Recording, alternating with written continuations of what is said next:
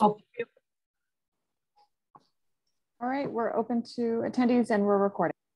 Thank you. And okay. Just wanted to make sure none of our committee members were in the audience. Um, Um, Dave, I just wanted to let you know that Dave has another meeting now, and um, so he's going to be late. Dave Ziomek. Yeah, he thinks he might be here by five, but thank you for that reminder. Mhm. Um, okay, And also We- Pat DeAngelis noted that she might be late as well. yes. So it is March 31st, 2022 at 4.32 p.m. and seeing a quorum of the Community Resources Committee present, I am calling this meeting to order. Pursuant to chapter 20, this is the last time I get to read this particular one. Pursuant to chapter 20 of the Acts of 2021, this meeting will be conducted via remote means. Members of the public who wish to access this meeting may do so via remote, via Zoom or telephone. No in-person attendance of the members of the public will be permitted, but every effort will be made to ensure that the public can adequately access the proceedings in real time via technological means. In two weeks, I get to read a different Acts chapter version number, apparently. Um, so at this time, I'm gonna make sure everyone can be heard and we can hear everyone. So I'm just gonna call the roll to make sure that happens. Um, Pam Rooney, Here, Jennifer Taub, Here. Shalini Bahl-Milne, Present. And Mandi Jo Hanneke is present, and we will try and catch Pat when she arrives. We're thinking around 5 p.m. So for Athena to be looking, I will also look, um, but that's the thought for her and both Dave Ziomek. Um, with that, we are going to just move into our agenda because as with every CRC meeting, it's probably jam-packed. So we're gonna start with our action items which are the ZBA appointment recommendations, ZBA handout, and the planning board appointment recommendations, planning board handout. Um, these handouts are by the council policy on making recommendations need to be reviewed by this committee yearly. Um, before I put that they are both in the packet, uh, they were modified last year um, in March, actually, nearly a year ago today for both of them. Um, and last year when they were modified, they were reviewed by planning department staff. Um, and so they, unless things have changed between last year and this year regarding planning stuff there, the staff themselves have reviewed each of them. Um, and so I can put each one on up on the screen. If people would like to see them on the screen they were in the packet or we can just talk about the one. We'll start with since i listed zba first i guess we'll start with the zba one.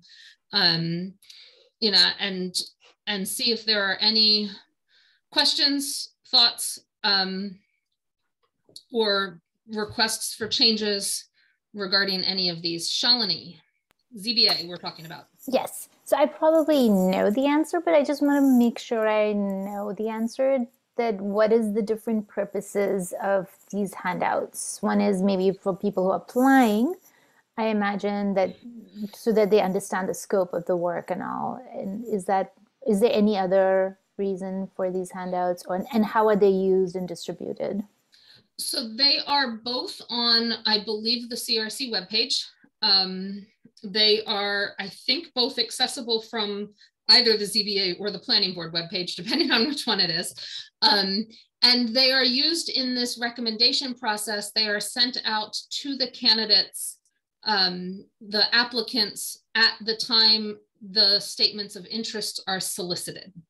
Um, and so any current applicant who is in the applicant pool at the time we declare the applicant pool um, sufficient to move forward to, to interviews. At that point in time, then statements of interest are solicited. And when the statements of interest are solicited, this for ZBA, the ZBA handout would get sent to them. For planning board, the planning board handout would get sent to them. And its intention, um, it, this was this item was started by um, Outreach Communications and Appointments Committee um, OCA. And the intention was to sort of have one place where people could find information if they didn't know where to find information, um, that we would actually hand them something that says, here's the website, here's when the meetings are, here's this, to help give them all a sort of similar base of knowledge as they start filling out the statement of interest. Jennifer. Before I you just had, a- start, I just want to note that Pat has just joined us. Pat, can you hear us? Uh, yes, Excellent. Thank you, Pat. um, so I just had a question. This might be pre-COVID, but it says, uh, you know, under the links, I guess it's like the fourth paragraph. At this time, meetings are not live broadcast nor video recorded, but are audio taped by staff. Can ZBA meetings still be zoomed into by the public? Um, so I believe ZBA, is- Chris might be able to answer this, but I believe ZBA is still on Zoom. Chris, do you know? Yes, ZBA and planning board are still on Zoom and I understand they're not planning to change that anytime soon unless they're required to change it. Okay, Yeah, and, and so these were done obviously middle of COVID since the revised periods are a year ago, but we tried to not make them COVID specific since we didn't know what would be the outcome of COVID and things. Shalini, Yeah, I don't have uh, comments on the content per se, um, but more the organization of it. Mhm. And if we could just have, uh, I made some arrangements on my own piece of paper, but basically it was like the overview had a summary of this is a quasi judicial board and under chapter this, and they basically work on hearings uh, related to special permits. So that paragraph goes up, and then just breaking up with subheadings like I just put the way I read things, but of course, you all can make it more. But the idea being that it's easily accessible to people who are reading it, and so it'll be like, what is what does ZBA work on? And that's all the part that says they they between meetings they visit site visits, they do this, they do that. So like, what is what do they work on? Then how are the ZBA decisions made, which is about that voting things that are required. When do they meet? uh, and where and how public can find out about the ZBA meetings. So kind of just took the same information but grouped them together and put subheadings like does what Shalini just described as a possible change sound good to people? Was that something that Sure. people would like to see? sure. It doesn't- Okay. I think that's something I can probably do. Mhm.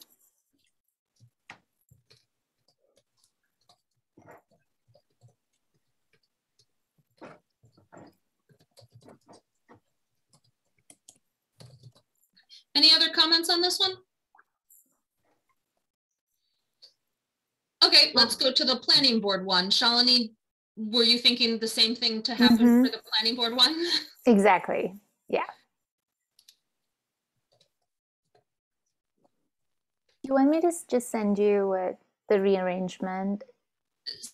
Send me what you have. I don't believe we have to vote on this. I think it was again, just review it every year to make sure that these are up to date, right? When I did it last year, it was like, oh, there's a couple of things that aren't quite up to date anymore. Um, Right. And so I think part of the request in the policy is to make sure we do look at it every year instead of just, oh, just send it out five years in a row without ever reading it ourselves. Chris, So um, would I have an opportunity to review them? I did not before this meeting and it would be uh, good if I could review them. Yep. yeah, I will make sure they get reviewed. I, I think I did that last year. Chris has sent them to your department Yep. before we sent them out. So I will do the same. After I regroup, I will do the same. Okay.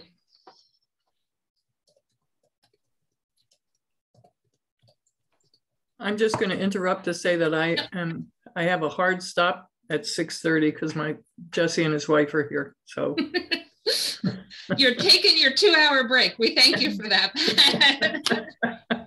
I plan on having us out before 6:30. Yeah, Great. I have the district slash office hours meeting at 6:30 too. So So any other thoughts on the planning board handout? just last thing, Yep. um, I- I'm glad that Chris spoke up about feedback from her end. I'm just guessing, assuming that planning board and ZBA have also offered their comments to these documents. Would you like me to send them to the chair of the planning board and the ZBA, Mandi? That would be great. Let me get you the revised regrouped one, although the Mhm. regrouping will just be, I, I'm not gonna rewrite anything. I'm just gonna regroup. So if you, Right. if you want to start now by just sending them the current ones that are in the packet.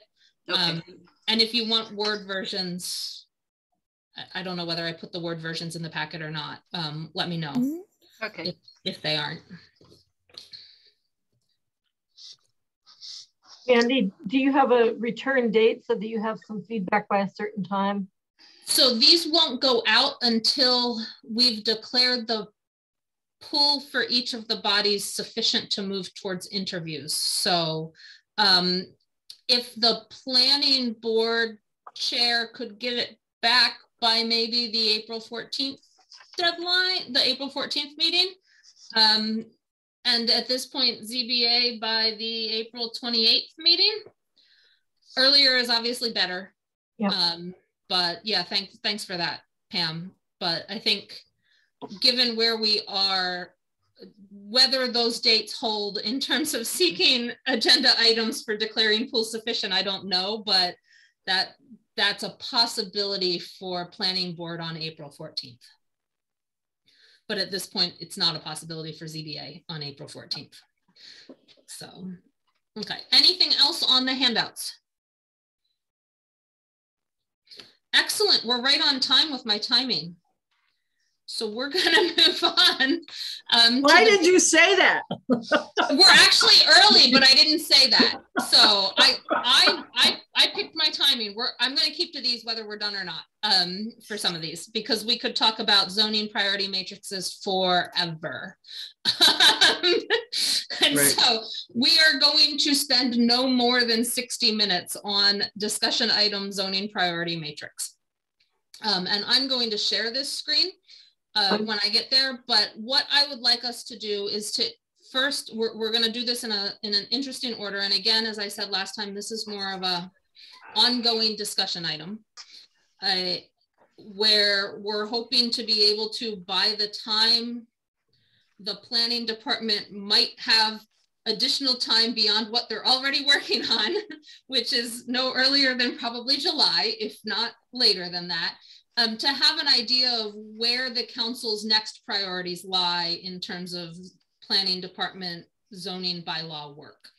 Um, so again, this is a months long process. It's it's not, and and it obviously will have to go through the council at some point too. We're just trying to get some information to be able to take to the council and all.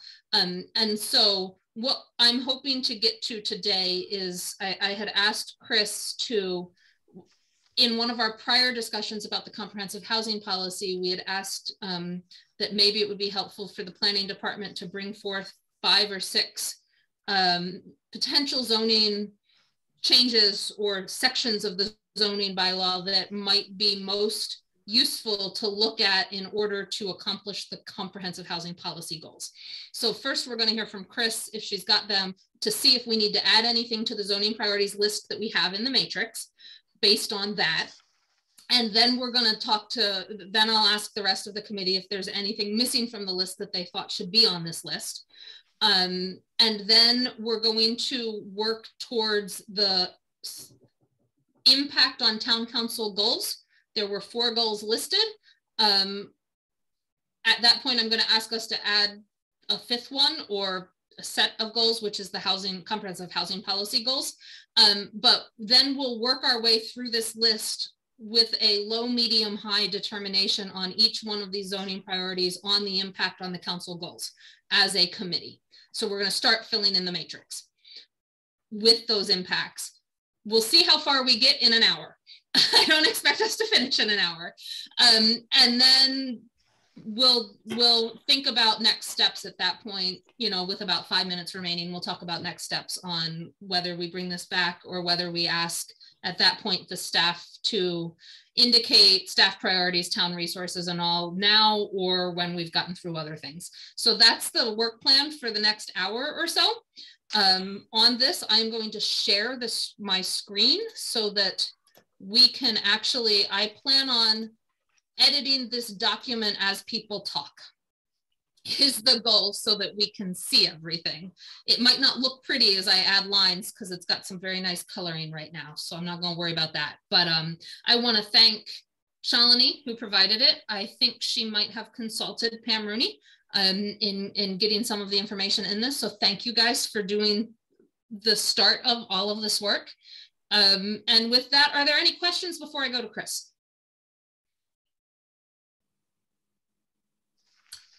Not seeing any. Um, so, oh, and and Rob is not there. Um, I just want to let Rob know we're, when we finish this, we'll move on to the work plan for Rob. So I think this will take at least an hour. So we're looking at 545 for Rob. Um, so that he has an idea. Jennifer.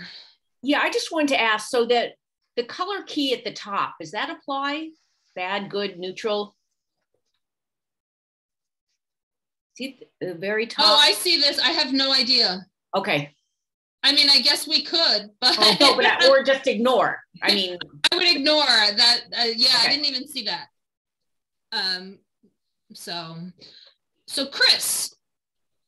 So let me um, preface this by saying I was focused on the comprehensive housing goals and, um, you know, trying to think about what kinds of zoning amendments would further those goals. I wasn't necessarily thinking about planning department goals. So I think that's what you asked me to do, right? It, and I think we've got some of the planning department goals already on here. So let's start yeah. with the comprehensive housing ones you were thinking at. And then once we've added them, because I know there's they're just missing from here, we'll talk about if there's any goals from the planning department that are missing, as well as any goals um, or priorities that CRC members think might be missing. So the next part of the preface is to say that I came up with about eight or nine um, strategies. I forgot that you asked me for four or five, so I'll list. Um, eight or nine are great. I'll list five of them and then we can also list the other ones. But um, I think among the ones that I think would be most useful in trying to reach the goals of the comprehensive housing policy would be um, creating new tiers of apartment buildings. And that would be in two different, um, what, uh, numbers, I guess, uh, scales. Scales is the word I'm using, looking for. So different tiers of apartment buildings. So right now, apartment buildings start at three units. And so one way to look at this is to um, peel off apartment buildings that are smaller, such as triplexes and quadruplexes, um, and maybe even going up higher to five or six units, but just starting off with triplexes and quadruplexes and permitting them um, in a different way than we would permit larger apartment buildings. So that's something that we've talked to you about before.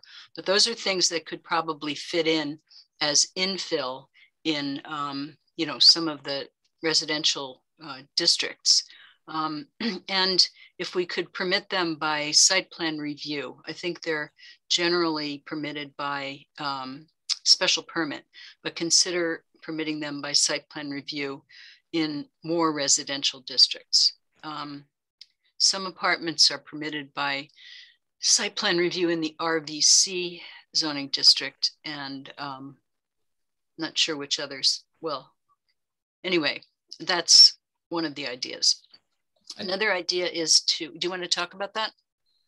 Let's list them all. Okay. And then as we get to the impacts on council goals, we can talk a little bit more about them. Okay. Another one is to, um, in, on a different scale, create um, tiers of apartment buildings, such as instead of just lifting the cap on apartment buildings completely, creating a class one and a class two apartment building that's bigger than triplexes and quadruplexes. And those could be um, apartment buildings that would go up to 24 units in the building. So right now we have a cap of 24 units um, on an apartment building. And if we could say, well, uh, an apartment building of up to 24 units would be considered a class one apartment building. And then a class two apartment building would be 24 units and up. And so you would have different um, types of permitting um, in different zoning districts for those two types of apartment buildings. And I think, you know, that's one of the things that scared people when we proposed to lift the cap on apartment buildings completely. They um, envisioned, you know, all kinds of monst monstrous buildings. So if we could be clearer about um, limiting the size of these, class one is up to 24 units, class two is over 24 units, that might help us to allow them to be located in more places without, um, you know, causing people distress. Um, another one would be to allow small apartment and townhouse developments up to a certain size to be approved by site plan review in more residential districts. And again, you know, when people hear of apartment um, developments and townhouse developments, they might fear that these are going to be huge developments, but they don't have to be. Like I'm thinking of um, two townhouse developments that I think fit in very well with their surroundings. One is the Knickerbocker Apartments. I think it's owned by Hilda Greenbaum's family, which sits in the um, district over by Canton Ave. It's in the RG district, but it's um, kind of on the edge. I think it's got either eight or 11 units. I'm not sure, but it fits really well in there. And, and that's the type of townhouse development that could fit in um, other, potentially other residential districts. Um, another one is what, not Watson Farms, but the Main Street housing, which is on Main Street. Um, it's just near where the where they're doing all that work on the utility lines. Um, but is that Salem Place? It's not Salem Place. It's uh, south on the south side of Main Street. The buildings look like um, kind of Victorian townhouses and they're kind of a gr greenish color. Yeah. Um, and that type of development, that's 11 units there. And that could fit very nicely in um, a residential district. And that along with a small apartment building, you know, might be able to be allowed in more places um, just because we have a limit on the size of them. Um, another one is and, and I talked to Mandi Jo and others about this a couple of weeks ago, to allow owner occupied duplexes to be built by right in more residential zoning districts. So right now, owner occupied duplexes are allowed by right, I believe in the RG, but beyond that, in the residential neighborhood, residential outlying and residential low density, um, they're only allowed by special permit and they're not, and I was going to do some research to find out, but they're not allowed in the um, Aquifer Recharge Protection District. So anyway, allowing more, allowing owner occupied duplexes to be um, approved by, by site plan review in those outlying districts might make sense.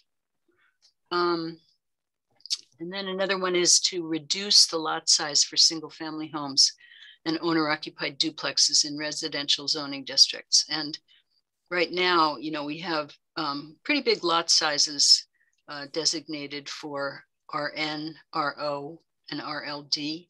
RN is 20,000 square feet, RO is 30,000, and RLD is 80,000. So, um, you know, we could think about um, altering the lot size, reducing the lot sizes in those districts for single family homes and owner occupied duplexes to try to get more housing in. Um, so those were the five that seemed to be the most doable, I guess. Um, others that seem to make sense would be, and we've talked about this internally in the planning department. Um, we looked at chapter 40R uh, a year or so ago um, for the downtown and um, we really weren't that comfortable with what we came up with. So we kind of put it aside. But um, after thinking about 40R and looking at the East Amherst Village Center, we thought maybe, um, you know, um, opening up that conversation again and looking at chapter 40R, which is a smart growth overlay district, it might make sense for East Amherst Village Center. And there's a lot of activity happening there now. and I expect that there's going to be a lot of activity happening there in the future. And it's um, it's right on Route 9 in Southeast Street, so it's a it's a place that's kind of at the cross section, at the crossroads, and it might make sense to do uh, to consider a 40R in that location. And what that would allow is greater density than the zoning, than the underlying zoning allows, but it would also require um, that, that affordable units be included. And they usually require, I think it's either 20 or um, 25%, depending on what the rest of the development looks like. So that's more than we would require with our basic inclusionary zoning. Wow. So that's one. Um, we'd probably need to hire a uh, technical expert to help us with that one. Um, another one that we've talked about a lot, but we've never really gotten it off the ground. We need to do some research on this, but um, there are such things as cottage developments, and I think those were referred to in the market study. Um, and I believe they were also referred to in the comprehensive housing study plan rather. Um, but cottage developments are small houses on either small lots or all on the same lot. They're individual uh, houses, small houses, but um, you know they either don't require a lot all by themselves, or if they do, the lots are smaller, and those are usually found in or near village centers. So we could consider um, developing some kind of uh, zoning to allow those to happen. Um, and let's see, this is a hot button, but I'm going to say it anyway. Um, allowing, potentially allowing or exploring, allowing more than four unrelated people to live in a dwelling unit. And I can see everybody's faces are turning red right now, but um, mine's not. Some people's are, but anyway. As long as it's um, not a student house. I was talking to one of the inspectors today, and he said that the uh, the state is actually considering, and he didn't think he didn't know if it was going to actually go ahead or not, but he he said the state was considering a new use category, and I thought this was interesting. And I don't know if Rob is going to have an, anything to say about this, but and the new use category would be to recognize the fact that more than four unrelated people can live in a dwelling unit, but to treat it more like a um, hotel is treated. And it would be required to live up to certain standards, um, you know, health and safety standards, um, sprinklers, um, you know, and, and the kinds of things that you would expect to find in a hotel. Um, so it would be more well regulated and it could potentially um, be approved by a special permit so that it wouldn't be just allowed by right. Um, but that might solve the problem of we know there are dwelling units that have more than four unrelated people in them. And why not try to get a handle on it and actually have a permit that controls it with conditions and then the inspectors can um, more easily enforce the conditions. So isn't that what four unrelated is? No, four unrelated is if you have a single family house and four unrelated people can live there, nobody really has any control over it except for the police or the fire department. But I think that's um, part of what the rental permitting is trying to get to. Yes, so that may four.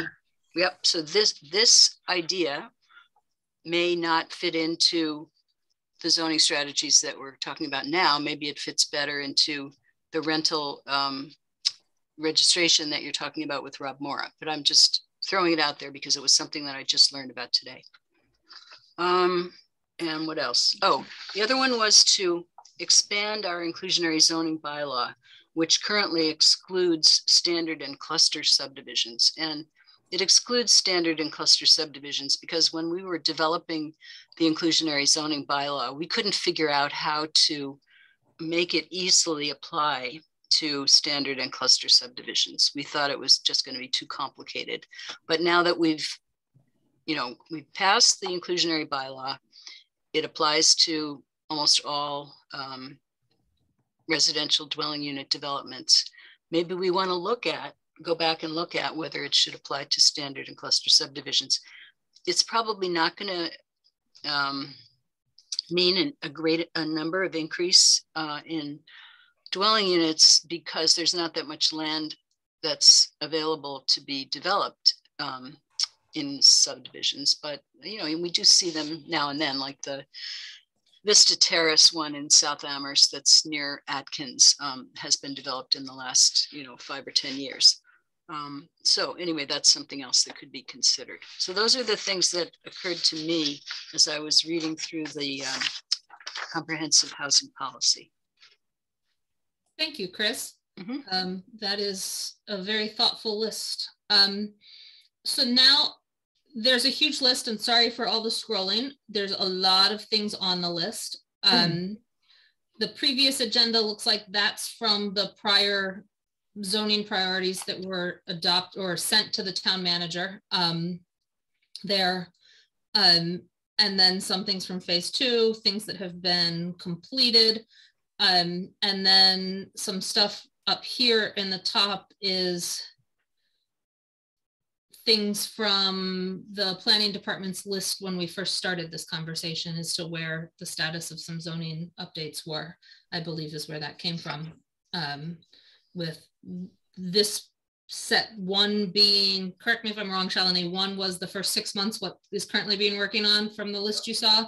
And then two was potentially the next phase stuff. Um, Andy, Andy, those came list. directly from Christine's um, list that she provided to both the CRC, I think, and the planning board.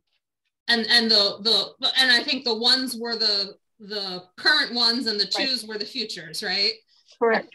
So are there anything, does anyone see in this column B something missing that has been mentioned in a document somewhere?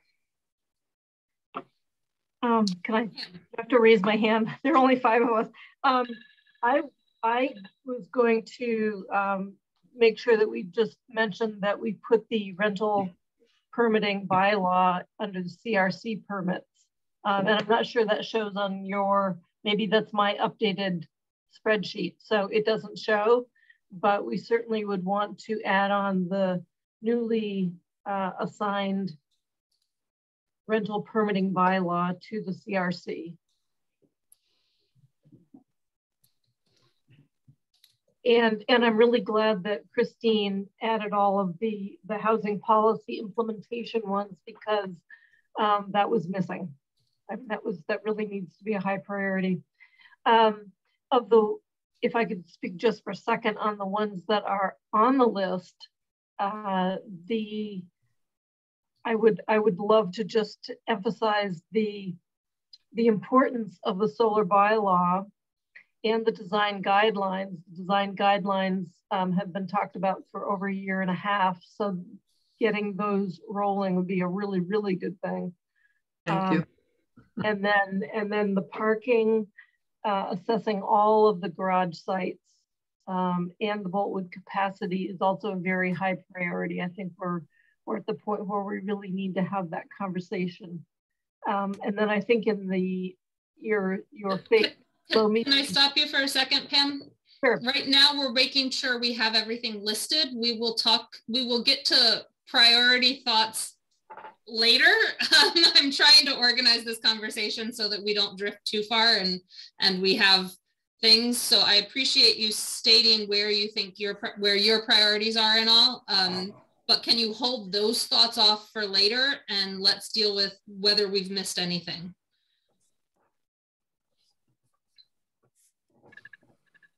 Was there anything else that you were going to say that we missed, Pam? Nope. Okay. Sorry for cutting you off. I'm trying to have an organized conversation so that we we get through things in an orderly manner. Um, anyone else have anything they would like to add to anything in column B that they didn't see? Basically, the list of priorities.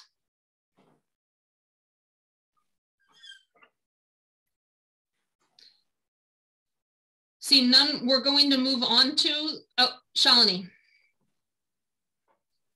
Do we have economic development here? So is that a zoning we're looking at zoning things. Yeah, I mean, is there anything really? I don't know, and that's it requires an exploration whether there's anything we can do with respect to zoning. I don't know anything offhand, but um, are there? I mean, and that's the point is that we haven't looked at it to see if something can be done. Oh, Chris's hands up. Thank you. Because I have no answer to that. So may I speak just for a minute? Yeah. So um, one thing that I keep hearing from people, um, specifically landowners who own land in the profess- professional research park, is that it's hard to develop there, and um, that it's also hard to limit the development, or I shouldn't say that. It's hard to find tenants or developers who want to do anything in the PRP zone. But um, this Hmm. particular landowner that I've been talking to seemed to think that if it were possible to mix um, housing and other things in the PRP, Hmm. whether it's housing and offices or housing and you know, professional, I guess that would be offices as well, but just to make the PRP more flexible, because right now it's kind of um, limited. And to potentially add the ability to have mixed use buildings there um, that could include, you know, housing as well as other things. We have a lot of PRP land and we've had it, you know, for decades and not much of it has been Mhm. developed for anything except housing, actually. Thank you. Um, seeing no other hands on zoning on the list in column B, we're going to move on to column C, D, E, and F. And what we're going to do is work our way down each of these lists to indicate a low, medium, or high impact on those four goals. And with your permission, I'd like to add a new column G, I think it would be, under the impact goals here um, comprehensive housing policy. I know we have affordable housing goals, which comes directly from the town manager's goals, but the comprehensive housing policy has five specific goals. Um, I don't know whether this committee wants us to separate out those five goals or not, um, or whether we just want to put in comprehensive housing policy goals um, as a sort of fifth column in this impact on goals. And one of the things I thought we'd start with these impacts for, because as we get towards getting towards priorities, we all as, as a committee have our own ideas of which ones higher priority than others. Um, but one of the suggestions in creating this matrix was to try and go about and actually, before we get to name this one as a priority over this one as a priority, look at the impact on the goals that we've already had. So I thought we'd start with identifying those impacts on each one of these. Um, and there may be no impacts, there may be high impacts on all four goals, you know, so that we have something to look at as we've touched on each one of these as we get towards potentially ordering these into some long, longer priority list. So that that's why I suggested we start with those. Pam and then Jennifer. Yeah. Um, so uh, the one, while we're on that topic, C, D, E, and F, I had suggested that we say, are we, can we say, can we, does, do these meet or support town council goals? Impact sounds like it's a negative thing. So it, do these, do these support town goals? And if you want to add the comprehensive housing one, affordable housing is actually a subset, as you said, of comprehensive, but it might as well stay. Why not? Um, in terms of community impact, while we're just talking about the headers, um, I'm not actually sure what that means. Um, in addition to supporting the town council goals, I don't know what community impact means.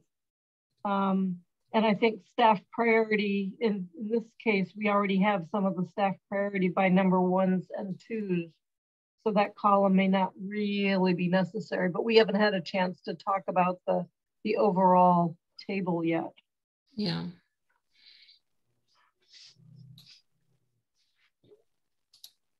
So I think this isn't the most up-to-date version.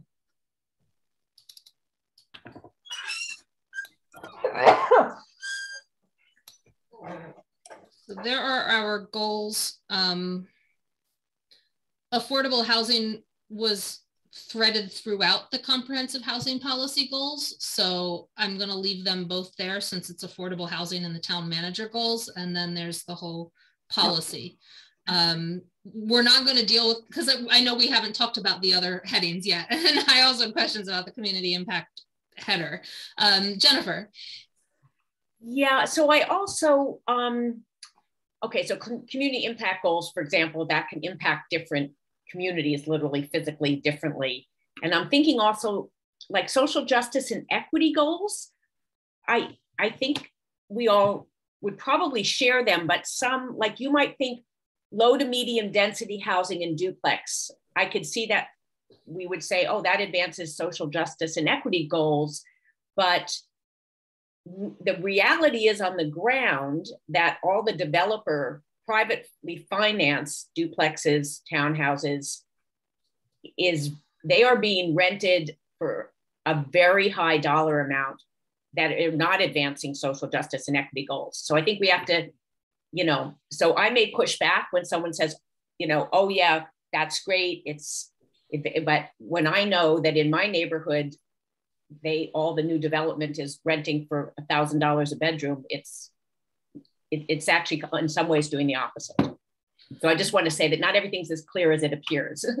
that that's a good point. When I start typing things down, it might not be a simple level of support, you know, high, medium, low. It might be low if, high if, right? And and we can certainly put some of that into this document as we as we move forward. Um, so so thank you for pointing that out because they they may be at cross purposes depending on who they serve. Uh, Chris. So I just wanted to note that most development going forward is going to require an affordable component.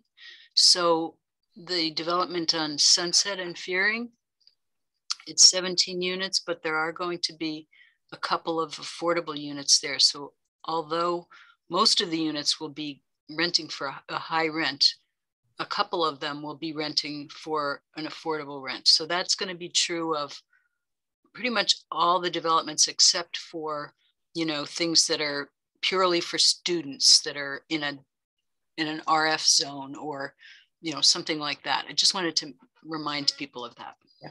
Although, yeah, there'll be just two. So I've, I've added to the, does it meet the affordable housing goals outside of the IZ required units? So, so that we're not saying, oh yes, it does help because, well, we have IZ. so in addition to the IZ that we've already adopted, does this do something else? Um, okay, so with all of that, we're, I'm, I'm gonna go down the list. and just start. And again, this is just the start of getting to some sort of priority conversation where we can reference things then. So flood, so flood maps and texts and flood maps bylaw text. I'm going to treat them the same. Climate action, yes. As if they are the same. So high on climate action? Yeah. Chris, thought? Yeah they they really reflect you know what's happened in the past but hopefully they will hinder development in those areas so that it, things won't get worse as a result of development yep social equity social justice and equity so Mandi, Mandi, I'm yep. thinking that maybe we go through and do highs, you know, where something has oh. a high mm-hmm. impact. We could spend hours. That's true. We'll start with the highs for each one. And so flood maps and tests for these other five, are there any other highs? I am not seeing anyone. We're going to move on to solar bylaw assessment and siting. High climate. And social justice too, yep. because it impacts people with lower income.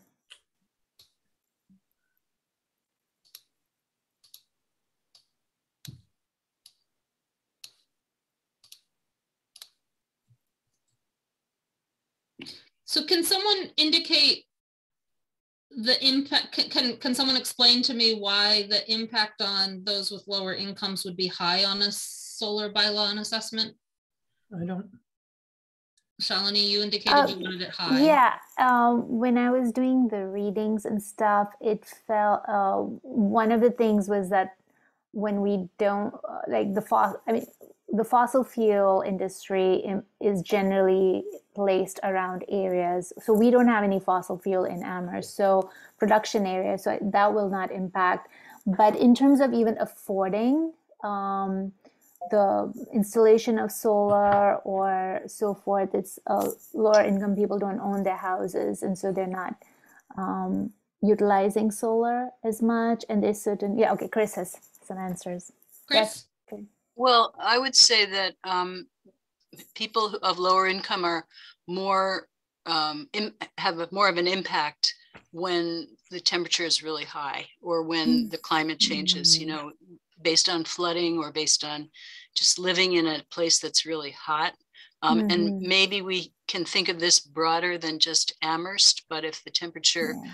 goes up and the sea levels rise, then you know poor people throughout the world are going to be suffering from this. So I think it has a kind of a Mhm. global reach um, in terms of social justice and equity. And it also is true that you know many poor people built their houses in not so great places in the past, which may be close to flooded areas. So you know they would not um, they would have a problem if places were flooding.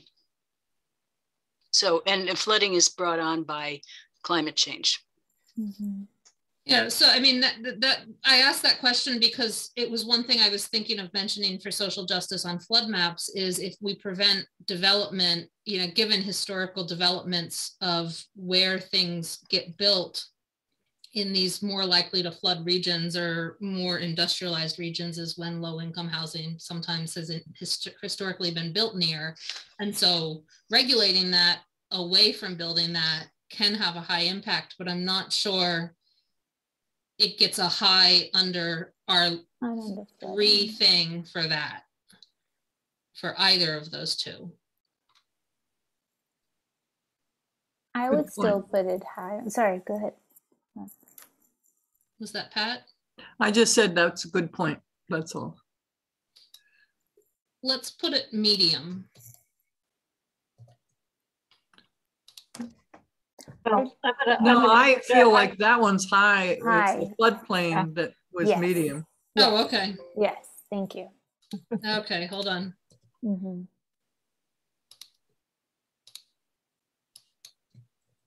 Okay. Are we ready to move on in terms of highs to design standards?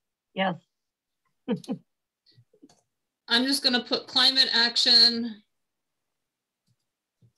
I think it's part of our comprehensive housing policy goals.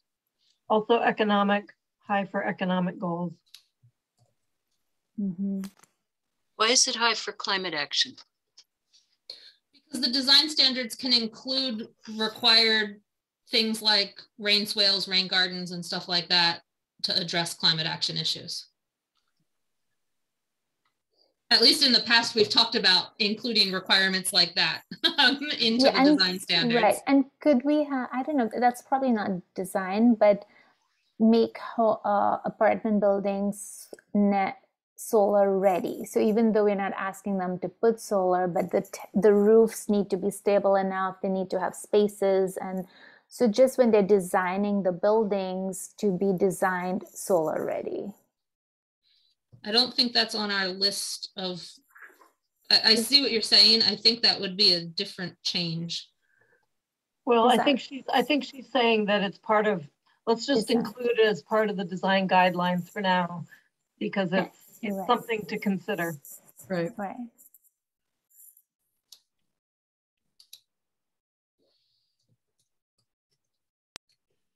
Mm-hmm.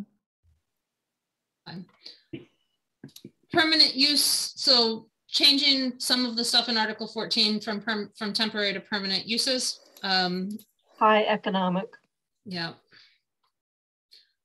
Given that it didn't deal with housing at all, I think that's about it right now. preservation bylaw, I'd also Community. high economic. I think, I think people come to this town to enjoy the historic structures and Mhm. I important. so I'm going to disagree. So I'm going to say high. High for three people and low Well, for, well tourism, you, you mentioned it for tourism. Um, Yep. Low, because if you're stuck under it, that might be massive amounts of costs to a person that it applies to. Um, and that might be detrimental to their economic stuff. Um,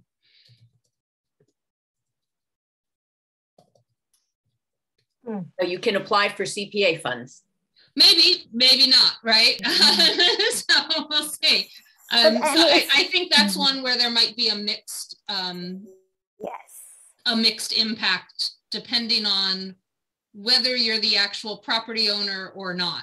Um, I and, and even for some property owners, it might be a high good thing, but um, So, yeah, okay, can I just clarify when you say economic goals and high, I mean, basically we're saying that this has high impact on the economic goals, whether it's positively or negatively. And it's in this case, it's both, but regardless, it does have a high impact on oh, this. so I- we retitled this level of support or advancement of council goals. Uh, So not so, so Yeah. aiming for high is in support of everything and low might not be.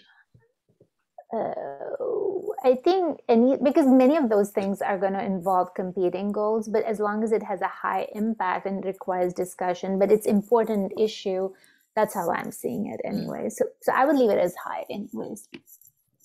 Um, Does it, does the preservation bylaw have advance any of our comprehensive housing policy goals? In theory, it may, if it's, if it's related to Mhm. preserving the house, uh, housing structure, it could possibly advance some of the um, maintenance portions of the Hmm. goals, but I'm not sure it's a high advancement. I think that would, and if we're only talking high, I guess it probably wouldn't be high.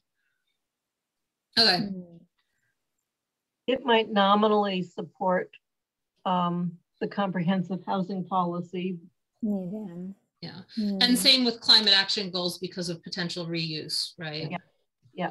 mm, And in turn, yeah, so I have to say, you know, I know like the um local historic district commission, like they said, you don't have to come before them if you're putting solar panels that are flat on the roof.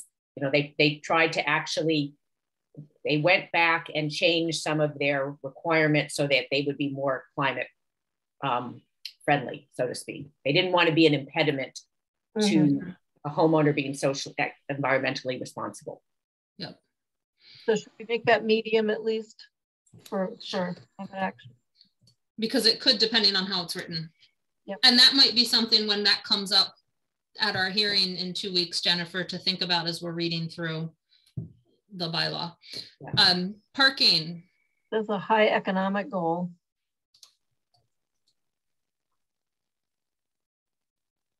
This is where the community impact was supposed to.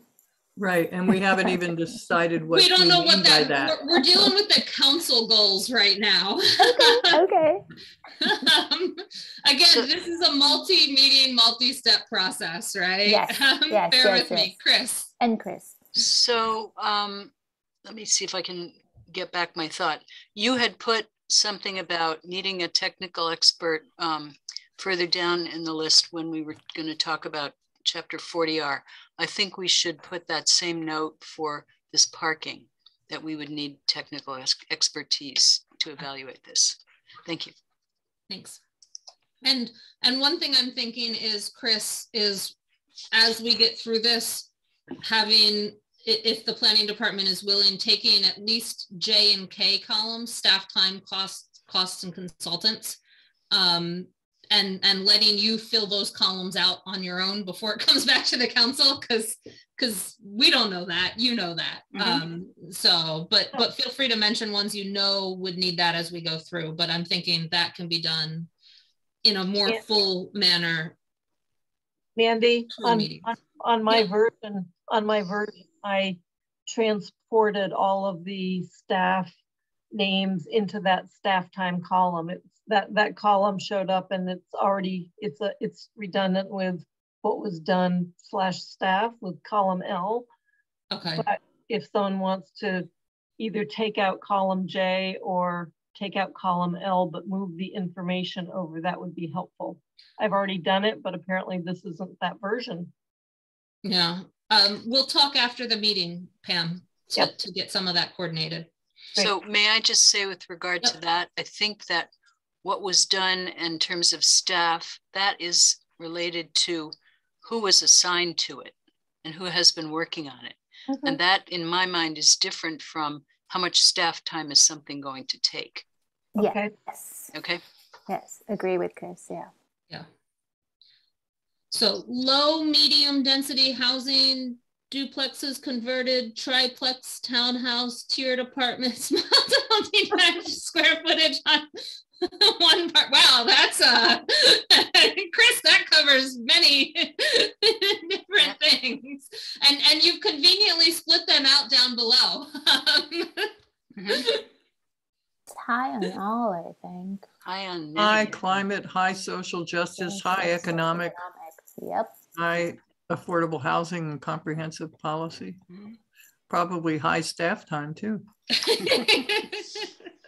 Although again, with social justice, I'd say, yeah, I mean, it, it, it could be, but not necessarily always in the way we think it would be.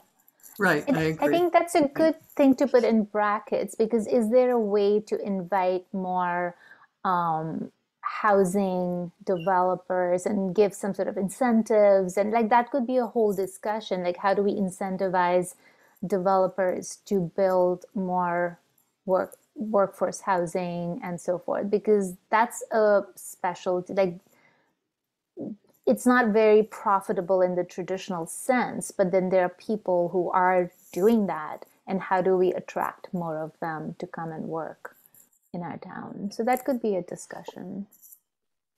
Okay.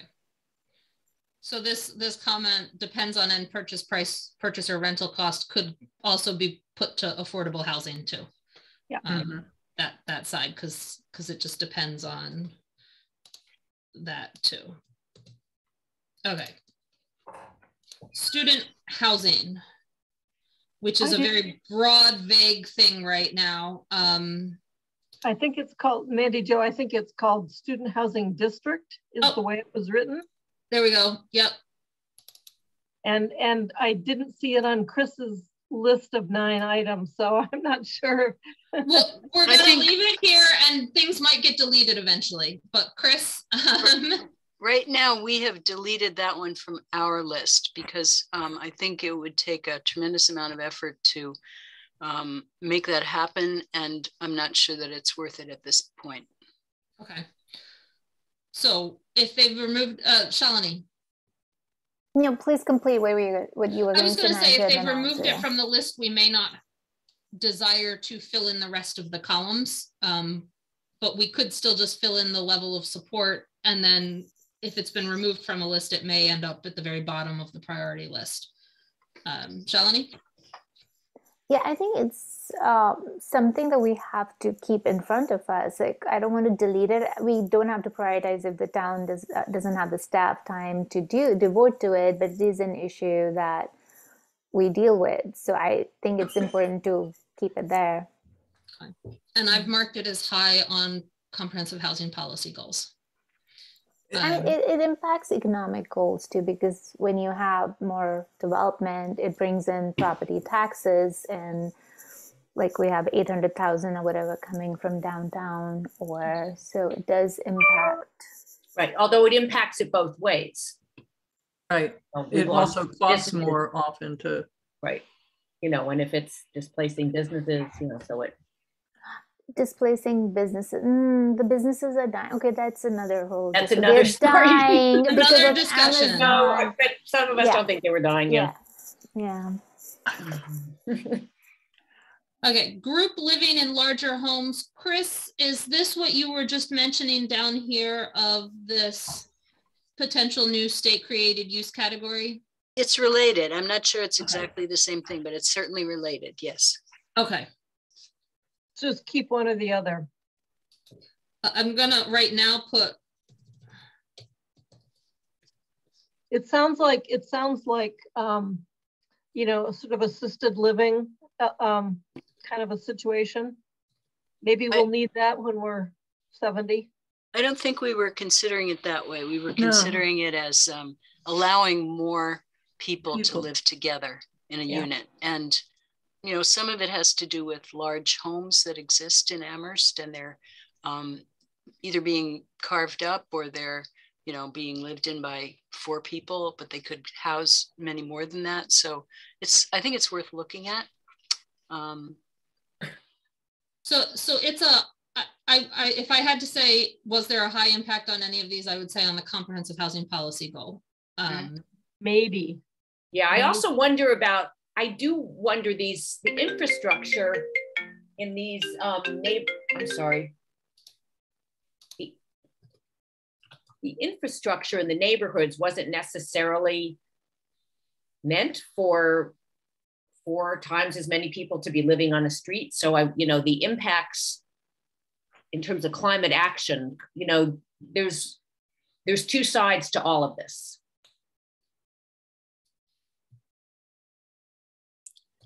You know, if you take a house that was designed for six people and you have a 12 or 15, that that's going to have impacts. Well, if it's closer to downtown and there are more people now living than walking.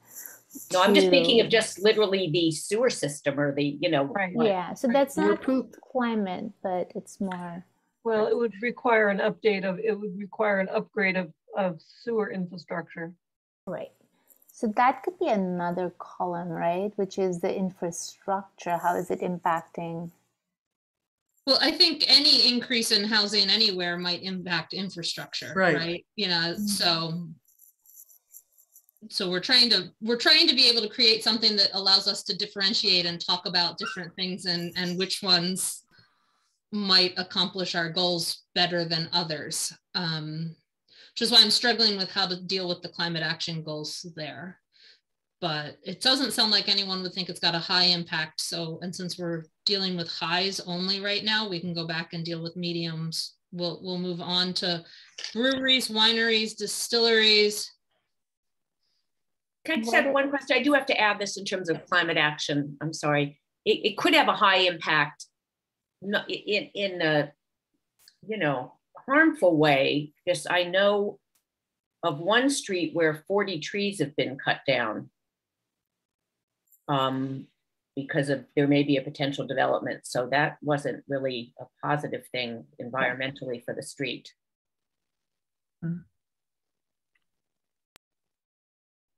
This is group living in a larger homes. But wouldn't that be. Yeah. For any development. I Yeah. mean, So, yeah.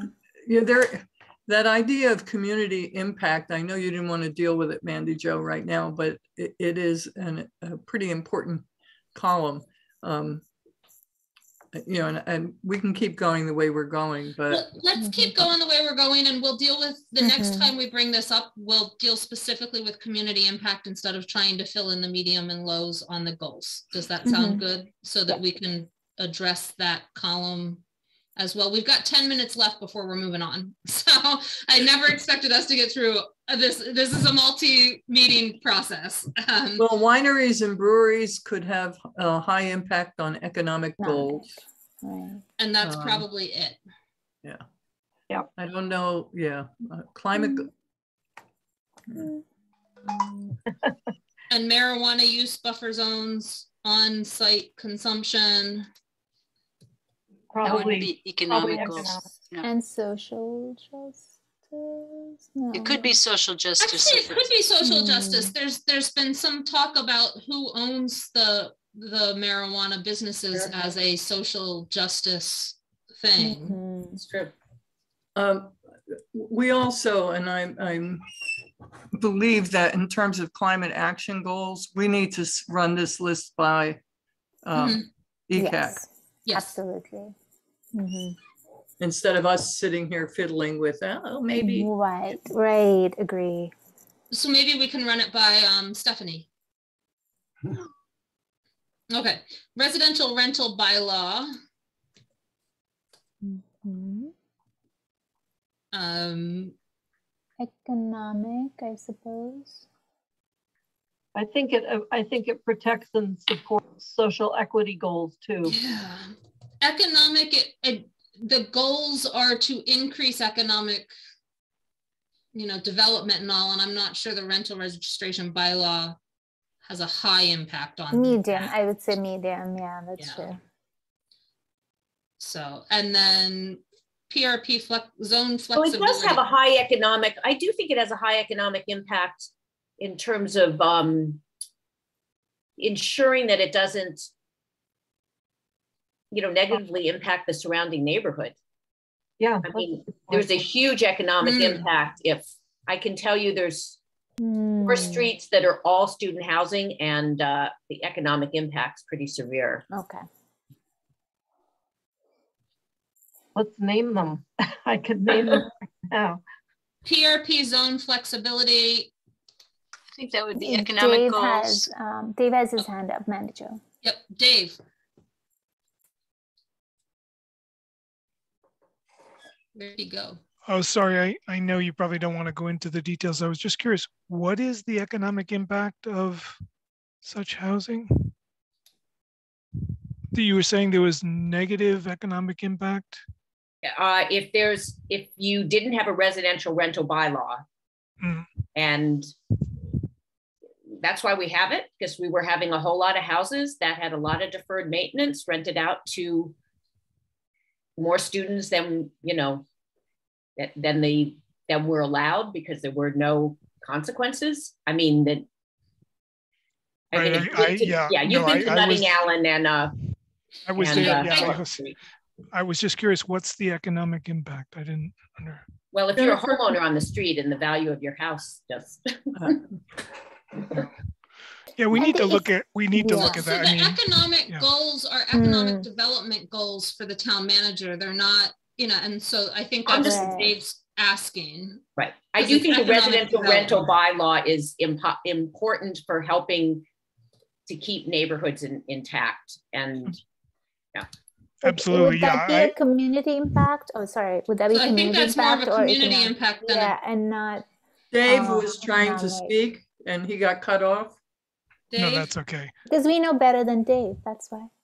No, Yeah. that's okay. It may be too in the weeds, yeah, no, Well, but I I, thought I, Dave was asking a question, so we were responding. Dave, Yeah. No, I, I definitely agree with, with where you were going on that and, and the rental bylaw has been hugely positively impactful on, on so many things we do. And yeah, I co-chaired the, the group that that, that bylaw came out of. So, and, and went to town meeting.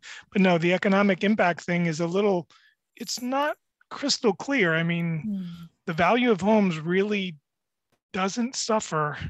Um, there, I don't think there's a lot of data on that. So we just need to be a little careful in jumping to conclusions on economic impact. There's definitely Let me, aesthetic. let me just say this. I'm but Jennifer, Jennifer, please do not interrupt the Okay, speaker. sorry, sorry. Anyway, so w- it may be two in the weeds for today, but we can talk about that later. Jennifer. Yeah, I'm sorry, Dave. I'm sorry. No, but I did want to say, I think for the whole community, what, what has happened in some other college towns, and I think we have been very proactive on that not happening here, but where whole neighborhoods start to look really run down because they're owned by absentee landlords who don't put mm-hmm. anything into maintaining the home. So that and the residential, as Dave knows, the rental permitting bylaw has helped, has helped to keep that from happening, Mhm. which is what has happened in some, you know, other college towns. Yeah, it's definitely that conversion when when a whole neighborhood goes or a whole street goes. Yeah. So yeah, we should look at that for sure. Okay. We're gonna, we've got five minutes till we move on to our next agenda item. There are, uh, let's see if we can get through the ones that aren't previous agenda until, we see if we can get through those. And then next time this is on an agenda, and I can't tell you when that will be, we'll deal specifically with community impact for everything. And Um, Andy, I have a comment. Yes. These are, these are terrific um, items that, that Christine just brought forward. I haven't had time to think Hmm. about them. I don't really know how they impact or support some of these goals, except categorically, they probably support the comprehensive housing policy goals. Um, yeah. We don't know if they're good, bad, or otherwise yet. We haven't studied them. And so it, for now, it just, you know, it's, um, it appears to support comprehensive housing policy. So why don't we put high on comprehensive housing policy for all of them?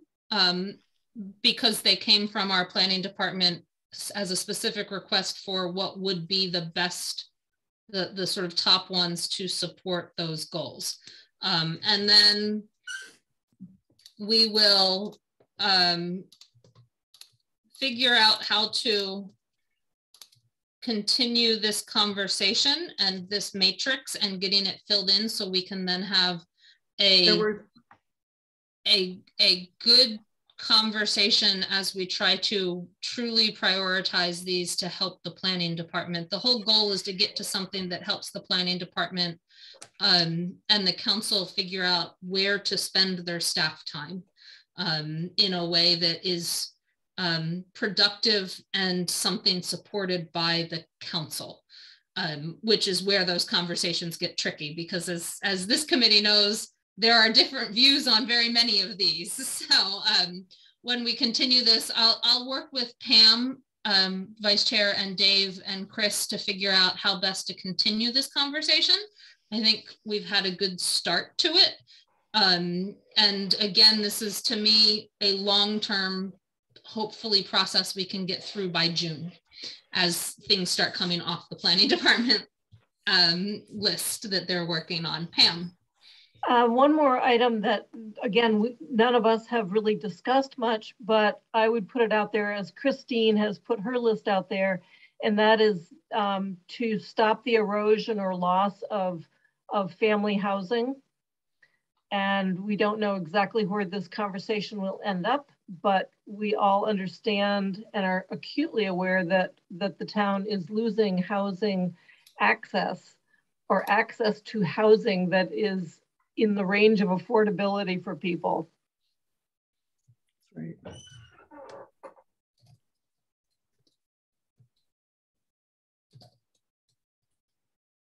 It's actually not increasing affordable housing. It is, it is stopping the loss of accessible housing.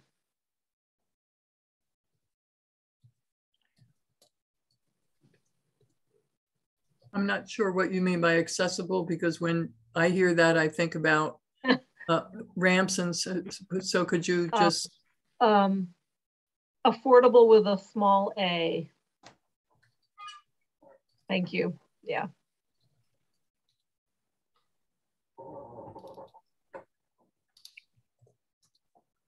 Okay. Great, thank you. You're welcome thank you all for bearing with me as we start this conversation. These conversations can get messy and they can be long. Um, and so I appreciate you going with this plan. I will work with, as I said, Pam and Chris and Dave to figure out how best to continue this conversation as we move forward with a matrix we can actually all view together. Shalini. Yeah, I feel that even if you don't get into very specific things, but just the broad picture of just looking at that matrix, even like there's certain items that are already starting to surface, you know, which have a lot of highs across them. And so we, you know, it just gives us at least some way of a big picture view of what it what where we should be instead of each of us coming from what we are really committed to because of the residents or people who voted for us who we you know speak for of course but we also have to look at the bigger town picture of all the different town council goals um, that we have. So i think doing something like this is already helping me to look at some of the things um, the second thing is, of course, looking at community impact. And I think we didn't talk about what that would look like, but that could be a column where we could say, okay, this is impacting the immediate community, community, you know, communities that are living, like the parking garage was negatively impacting the community that's living around it. But then the people who come down to uh, and need parking, it's positively impacting the rest of the community. So just having that kind of um, looking at how is it impacting, it's it's definitely impacting the community, right? So just coming to a shared understanding of what community impact looks like. Yep, and and we will start with community impact next time. Okay, we're going to move on to the residential rental bylaw. I have drafted a work plan. Um, so let me pull that up. Which, by the way, thank you, is very thoroughly thought through. And I will, I will summarize once I find this work plan. yes, thank you for doing that. That was so good. I, I will talk about it as I bring this up. There's a couple of things before we dig into the work plan. Actually, um, before we dig into the work plan, I want to bring up one thing, um, two things, and then and then we'll dig into the work plan.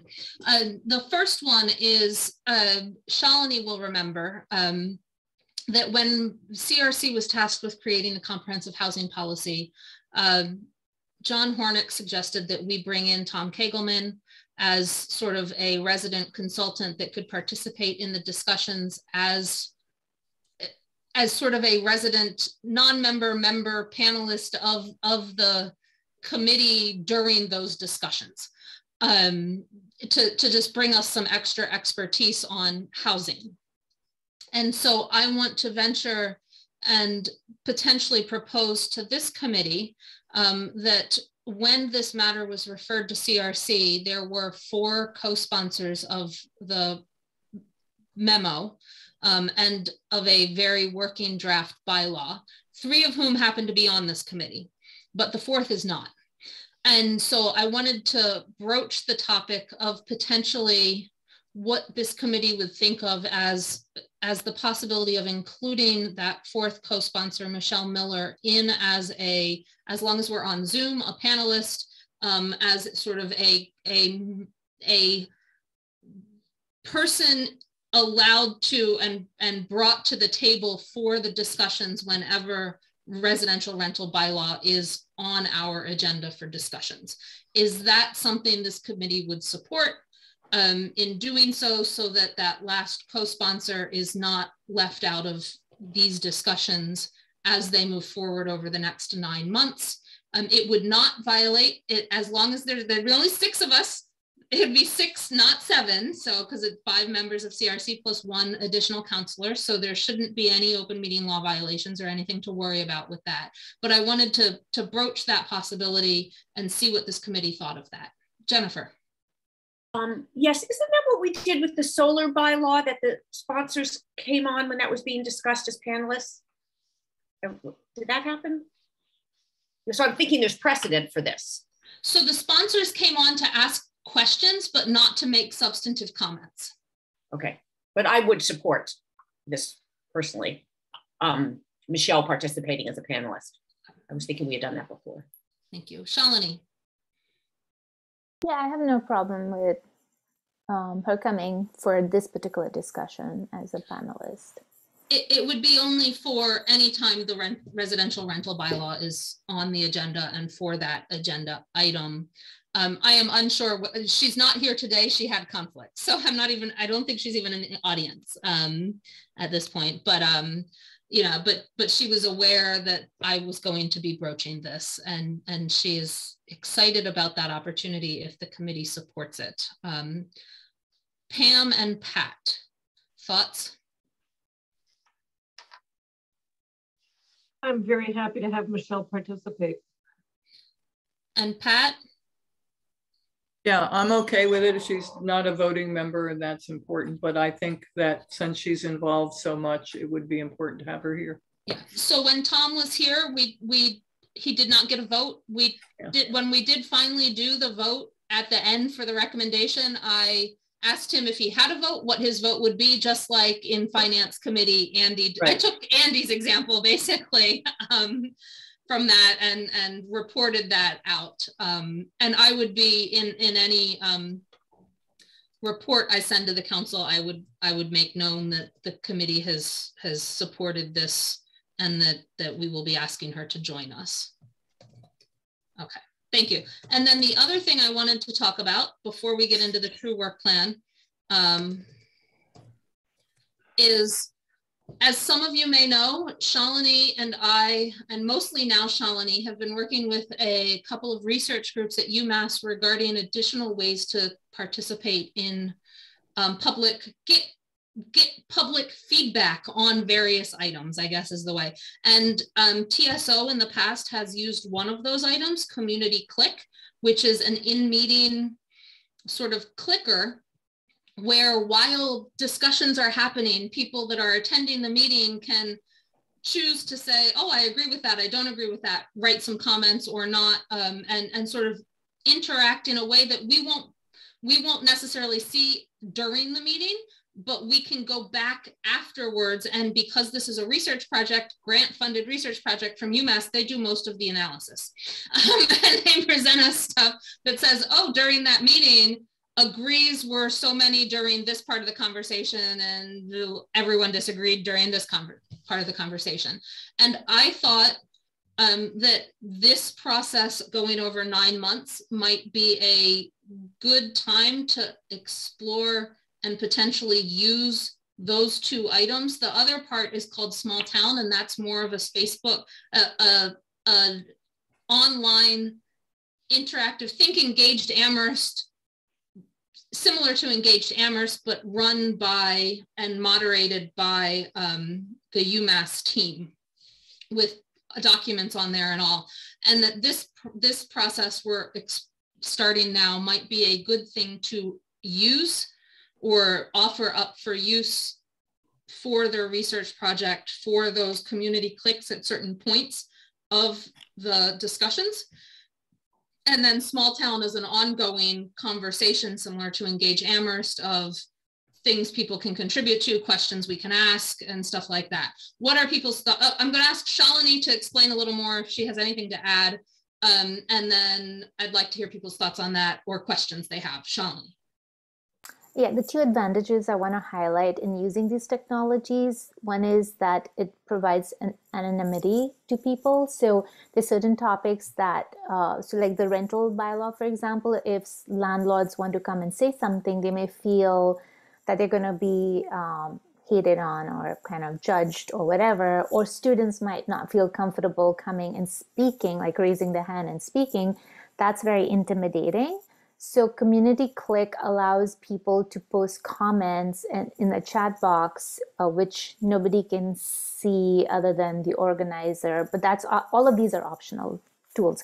But anyway, the main thing is that people can, who are generally afraid to speak in front of, uh, uh, so it creates a safe, safe way for different people to be able to share their perspectives. The second thing is that the timeline and I'm working on that in TSO is to create sort of a timeline where we have like different phases of any bylaw being worked through and at different phases of the bylaw when it's being presented. So we want people to know that, hey, we're talking about this. We want your feedback. And then who is this impacting? So the different committees, different residents. So we get gathering feedback. So all the different point, different points we want to create a process where we reach out to different people and get everyone's perspective on it. So the the, the other technology, the, which is similar to Engage, will allow people at different points to come and share their feedback if they're not able to come to the meeting. So they kind of work together in that way. And there are many other benefits, of course, but we're just testing and trying and want to get feedback from people, like what would make them feel safer to come and participate, and um, yeah, and things like that. Thank you, Shalini. Pam. Yeah, um, well, first question is, do you get extra credit if you apply it to something that we do here in Amherst? second, second, um, if, if it is something that is um, appropriate, uh, it would be interesting to kind of see it in action to, to kind of feel it out a little bit but I could see the um, the downtown design standards being another application for that kind of thing if it if it works. Um, uh, and and then um, lastly, I guess if if we were to structure something like that, would we have to have some pretty specific targeted questions that they could answer yes or no to in order to, you know, very specifically not sort of ask ambiguous questions and get a lot of bad data back? How So much, for how, and how much work would that be to do that? So for Like- community click, no, no targeted questions needed. Community click is basically as someone's watching our meeting. I'll even give the example we just did, the matrix. They would have essentially a click, a, a smartphone clicker or a web browser in front of them with options to click as we're discussing it to say, agree, disagree, I'm confused, I need more information. And we can pick what those, those options are. And so while we're discussing, they just can click buttons. And then there's also potentially for a comment part of that where comments are submitted. So questions and comments are submitted that we could see. So it runs sort of while we're doing our meeting for people who are watching the meeting. TSO did this once last year. And so I can hunt up which meeting that was. Um, you won't see much other than a big QR code and web address at the beginning of the meeting that says, hey, go here if you want to try this. Um, but we, we had the charts that were produced afterward in one of our council packets, I believe. So we might be able to pull that up for people to look at. But so for the, for the in, the synchronous portion, there's not, um, th- there's nothing really for us to do other than set up those options. And those, those would probably be the same as for any of the synchronous portions that we do. Um, for the asynchronous portion, which, which is the small town similar to Engage, it depends on what we want to do with that one. There's a lot of options and I don't want to get into all those options, but I, you know, some of the first ones would be probably to start with the questions we had in the, that, that were in the memo from the co-sponsors to the council that has now been referred to us. Some of those questions, as we're going through we might get more questions or there might be drafts. Um, and so those might automatically sort of pop up of as we're discussing something, oh, I'd really like to hear what the people think about X. And that's just the question we've now written down for them to put onto small town. Um, so, you know, it might require a little bit more work, um, but it's an ongoing thing. Um, but it could be a very interesting way for us to be able to get a lot of feedback on an issue that probably has a lot of interest in town outside of just our meetings, but also within our meetings um, too. Chris and then Shalini and then well, Chris and then Jennifer, and then I'll let Shalini speak.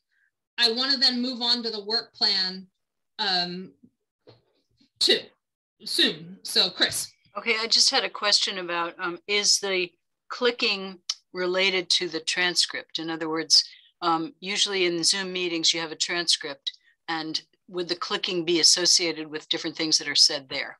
Yes, Okay, Jennifer. Yeah, is it possible to do, do they come together or we could decide to do the community click and not the small town or is it?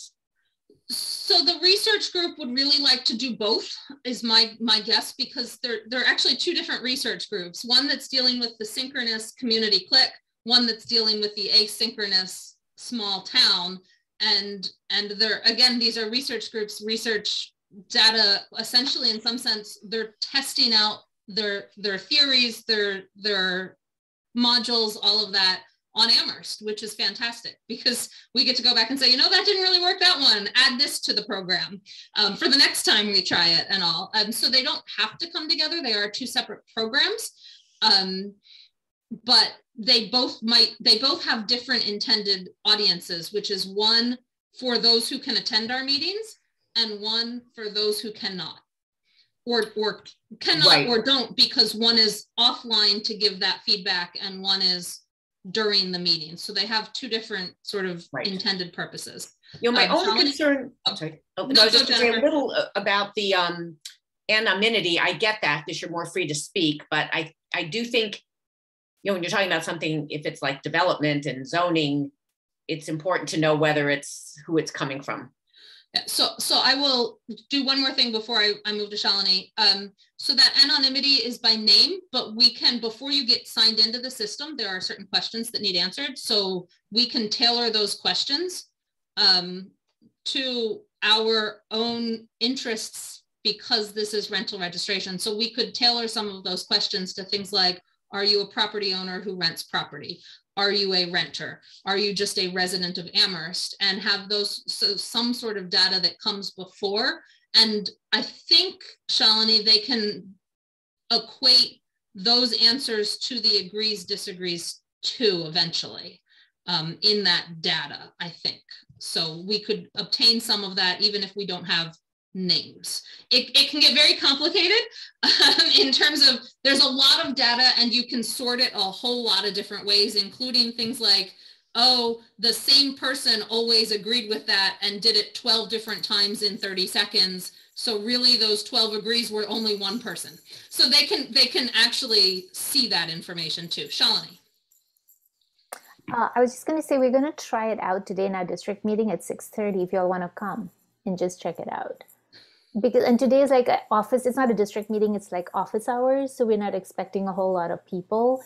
But one of the people from the umass team will be there uh, to run this program. So if you all want to come and check it out and we can just play around with it and have questions we can address them to the umass team member. Thank you for that shalini. With that i'm going to share my screen on the work plan and try to summarize it very quickly. Um, so every CRC meeting between now and December 15th or 14th or whatever the last one is, um, 15th is on this list. Um, I based this on my experience as a charter commissioner where the consultant basically said, take these in chunks.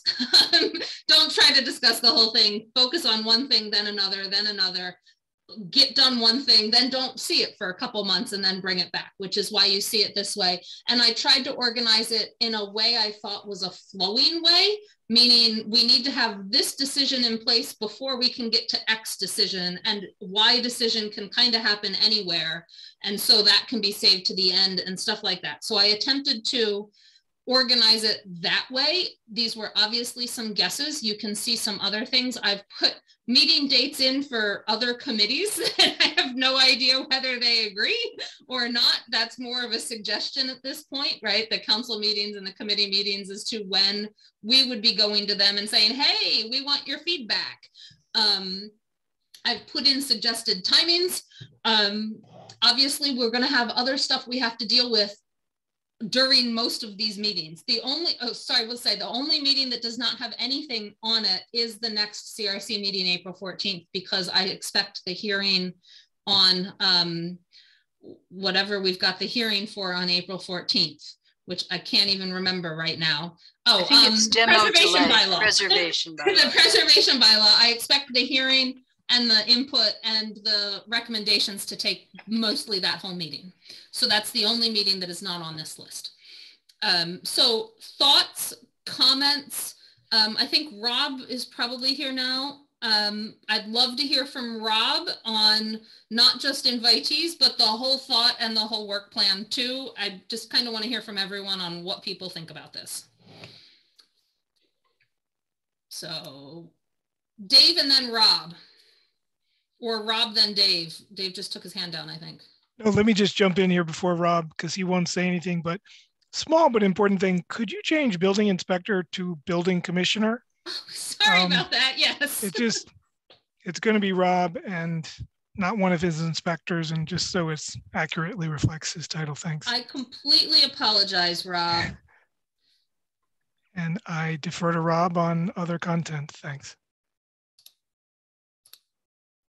Uh, Wow. could you change building commissioner to building inspector, please? Do you want both in there, Uh, Rob?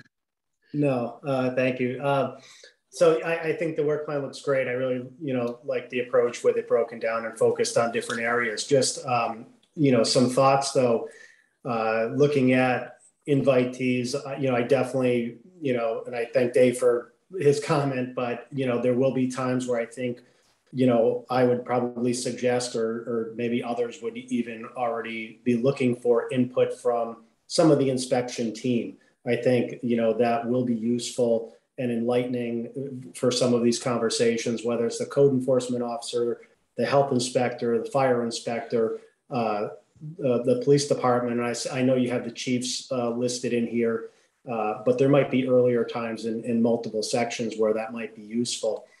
Um, I also thought looking at this schedule that there might need to be, you know, either gaps built in or expected um, additional agenda space available for things that will come up that might not be anticipated yet. Uh, and you know, I don't in in the invitees, I don't see you know landlords uh, at all there. But you know, there is definitely a component that's really valuable from a landlord that say manages a large complex. That you know, we could spend a lot of time on understanding you know how a property that size uh, you know maybe regulated by HUD gets inspections and you know that can be something that I could help with, but you might want to hear it directly from you know a professional management team that that works with that every day. So I just thought that there might need to be some spacing either available or built into this for things like that uh, that will come up along the way. Uh, in a similar way, you know, the UMass representation, the Greek office uh, staff, uh, will certainly be able to um, help uh, understand some some of the maybe why we're doing this responses to why we're doing this along you know through some of these sections you know so information from outside agencies would probably be useful as well uh, I think that you know that's about all I have for uh, comments at this time I oh I, I do you know you start this off really quickly looks like uh, in an upcoming meeting. But um, for me, you know, I saw, you know, sitting through the Safe and Healthy Neighborhood Working Group, it really did seem to be useful to establish that that list of why, you know, or what we're trying to accomplish with uh, the rewrite or the amendment to the bylaw. And you know, at least in that process, it was a document that went, you know, was maintained along the the entire process uh, until the end when the bylaw was written, uh, constantly updated and constantly checked to make sure that what we were producing in the document uh, responded to those uh, those issues that were raised. And so I thought maybe spending a little bit of time of you know what what does the bylaw currently not do that we'd like to have it do, and make sure that we're working towards that. Thank you, Rob. That's very helpful. Um, Jennifer. Oh, I took it down. No, I think it is helpful. We did try to do that in what we presented at the work session of what we were hoping it would do. But I think that's a good suggestion to look at what's not in the current, you know, that what, so our goals are there, but maybe what it's looking to address that's missing now. I, I can try to add that into the April 28th item as a separate sort of issue for discussion too. Other thoughts? I know it's an extremely tight timeline. I don't know whether we can stick to it. Um, we may need to add more meetings or make a decision at some point to report back to the council in December that we're not quite done. Um, you know that that we'll have to check a work plan occasionally to see whether we are or are not done whether we stay on track or not. I don't know whether we can. Um, it all depends on what else we get assigned to us too in some sense. Um, these november 17 1 and 15 you'll see that the minutes get lower every single time um, you know, and so those are some of our built-in leeway. If we're running a little bit late, we can take some of the final bylaw review and, and do something that's not quite done and concentrate on that till we get to some other things. So that that's where some of that that leeway is built in. Um, it's obviously not a lot. Uh, Pam and then Jennifer. Yeah, again, thanks, Mandi, for putting all of this together to even to even grapple with.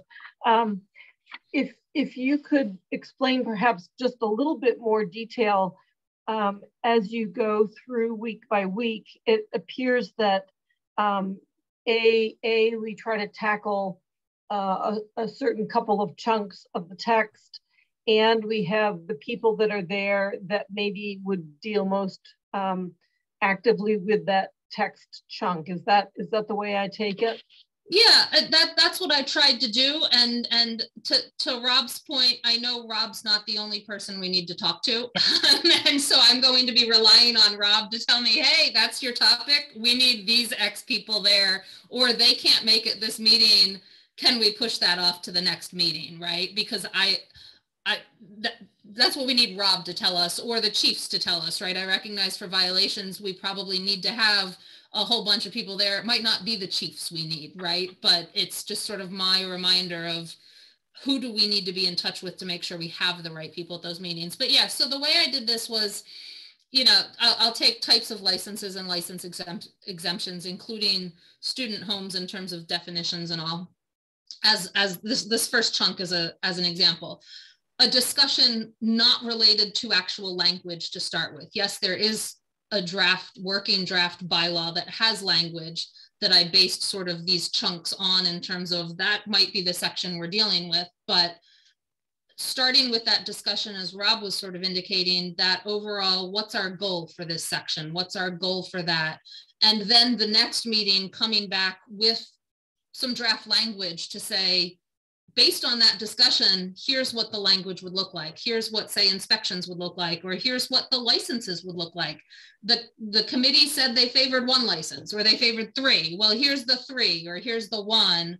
There's the language. Let's discuss the language and see if there's any changes. And then, you know, for some of them, I, I said we might only need two before we can basically get the language done and then not deal with it for a couple weeks or months. Others we might need three or four because they're much more involved. They're longer sections and all. So, so that was sort of my thought, a sole discussion and then a review of language, or if I thought it was a big chunk, discussion and review of language for a second meeting and then review of language for a third meeting again things like that and so that's how i thought it would be and so i put the limited period of public comments on the initial discussion sections um thank Pam? you so um I completely, but by the time you finished, I forgot what my what my next question is. So I'll let somebody else talk.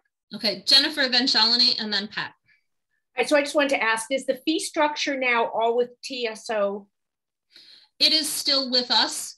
Um, and so you'll see down here that at the beginning, yeah, right. I, I said, go to them and see what they think, who should be the fee authority, who should set the fees because that should probably be a TSO at least input on who should set the fees as well as obviously others um, and what the application process might look like. Um, and then down here, what the fee schedule is. My thoughts on that are that we have a discussion that we come up with some sort of draft. We send that draft off to TSO and to finance. They get back to us with comments and thoughts on those drafts of what that structure looks like. And then we propose an actual, based on all of those discussions, an actual fee structure.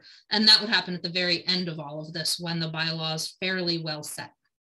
So I've been a little surprised. I mean, how much I've gotten a bunch of emails about the fee structure.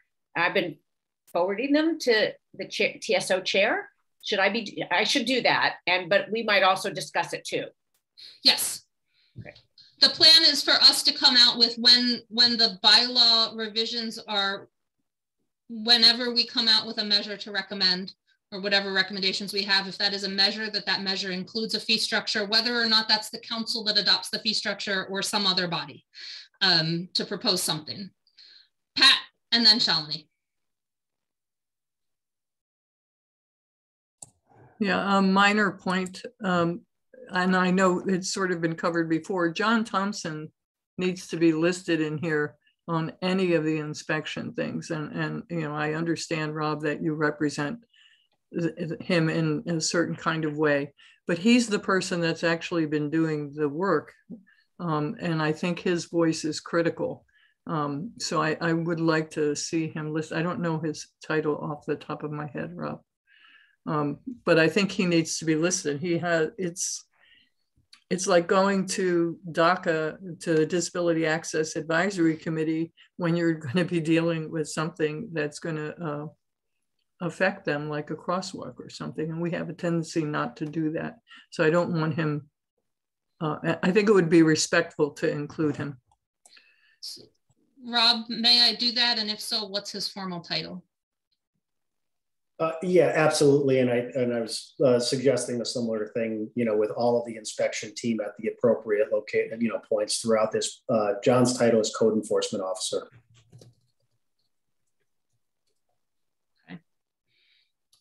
I will add him specifically in, um, and I will figure out some way of putting in and other designees or other inspectors Yeah, Mandi, can we just keep can we just keep um, Rob as sort of a placeholder for all of that now?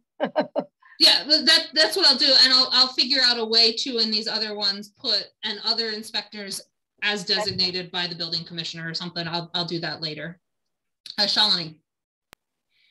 Yeah, and two things. So one is um, identifying, like Pat, you just did, who should be in this conversation and so if other people have other people or groups or committees that you think we should be inviting at different points in this document, that would be really helpful to get because I want to create a template for community engagement using this as an example that we can then replicate in other committees and all. We can adapt them to our needs, but just kind of had, have a template for how we're having these conversations, who are we including, when and how, and what channels are we using, and kind of try to create a streamline that. So that's one thing. And the second thing, I think the red, the parts where manager has them in red is our opportunities where we can use the CommunityClick technology to engage with people. That that was my plan was for the at a minimum, the items in red to not only include a public comment portion of that meeting specifically on those issues um, in the middle of our discussion at the beginning, at the end of the discussion, somewhere during that discussion, 75 minutes or 45 minutes, but also that then the CommunityClick could be used during the whole discussion then, um, but maybe not for every meeting. So it's 618. We don't have too much more to do on the agenda, but I would like to it sounds like the committee is in general in support of this work plan in terms of the timings and all with the addition on April 28th of an initial discussion of um, general goals as, as recommended by Rob um, and all, which means the time will probably increase on that one. we'll see if that that's a goal for this committee then to get through potentially the preservation bylaw all on the 14th. I'm going to say that to give us time on the 28th. At some point in May or June, we have flood maps to fit into this work plan. I'm just going to say that right now, which means we might be off the work plan pretty quickly. When we are, we'll have a discussion as to what to do, whether to add a meeting or just move everything a meeting later. Um, we'll do that depending on how things happen. Any other questions before we move on to the rest of the agenda? Pam. Yes, um, I was going to ask earlier about having some additional um, meetings. If um, I don't know um, if those would have to be a, I'm sure they'd have to be a publicized extra meeting to discuss some of these. I was also going to volunteer to uh, take a stab at sort of the problem statement so that we can work through that and have that ready for the April 28th conversation obviously with input from others, but I'll but I'll take what we've already done and um, and beef it up. Take take the memo that was referred to the committee um, that had that goals in there, and that would be great if you could produce a document for me to include in the packet on April 28th for that. Um, and all, and yeah, so I might and, and I might add into this if we're adding extra meetings, I might put some potential dates that those might go. I'm thinking at this time they might be some of these discussion meetings instead of the review of language meetings and that they might be pushed to a Monday non-council meeting night. Um, might be the easiest time to find time we're all available if that's possible. So I might look at the council meeting schedule to see when those periods are and sort of put in a placeholder of potential extra meeting if desired, if needed somewhere a, a couple times in this schedule. With that, thank you all for your comments on this. I will work and we will, I'll probably add a column about done, not done, and things like that so that this just continues on in each meeting so we can keep track of where we are. Um, that brings us to um, general public comment. Public comments on matters within the jurisdiction of CRC. Um, residents are welcome to express their views for up to um, three minutes at this time. Um, if you would like to make a public comment, please use the raise hand button to raise your hand at this time and I will recognize you um, in turn. And okay, I was just gonna ask Pam, you still your hand up. So that was lingering. Um, and Athena, since you're the host, um, can you please allow um, Kitty Axelson Berry? Um, hello. Hi, Kitty. Uh, Axelson Berry at 89 Stony Hill Road up in um, Echo Hill South. So I think that the CRC has been mentioned as the group that's tasked with creating a master plan implementation committee. Um, Lynn Griesemer has referred to it. At some point, I looked up the charge of the CRC, and it included the master plan, seeing seeing to it that it was implemented, I suppose. Um, so where and when will someone look into doing this? Oh, right, I can't have a conversation. Okay, so I would like to, I would like to comment that um, the CRC should put that on the agenda or certainly research it and explain why it should not be put on the agenda if you think it should not be. And the same might go for um, creating, since, since the CRC is so involved with zoning and zoning priorities, maybe having a, a work group that is studying what college, what other college towns are doing, what's working, what's not working, would be something that the CR, CRC could take, um, take a lead on. And I'm hoping it will do that. Um, and then the other thing that as um, as Christine was talking about the priorities for zoning and the priority, and you were all talking about how to get more housing here in Amherst, and I, I was just wondering whether there's been any movement on um, not only focusing on the downtown area, but really focusing considerably more on the village centers. Right now, it's like, yeah, and also the village centers, but it's not a real focus. And maybe even in some of our outlying residential areas that are essentially suburban areas, maybe some of those um, would be good places since they already have sewers and everything else to consider um, having more infill. I'm thinking about tennis courts being divided into four for pickleball. Um, but that is my comment. Is it possible to study changing the zoning laws while you're changing things downtown to also focus a little more on the village centers and consider the suburban areas? That is all. Thank you very much for doing all the work you're doing. Thank you for those comments, Kitty. I've made note of them and you may hear from me later when I get some answers to some of those. Um, Seeing no other hands, I'm going to close public comment off and we're going to move to minutes. We have the March 17th, 2022 meeting minutes to adopt tonight. Are there any requested changes to them?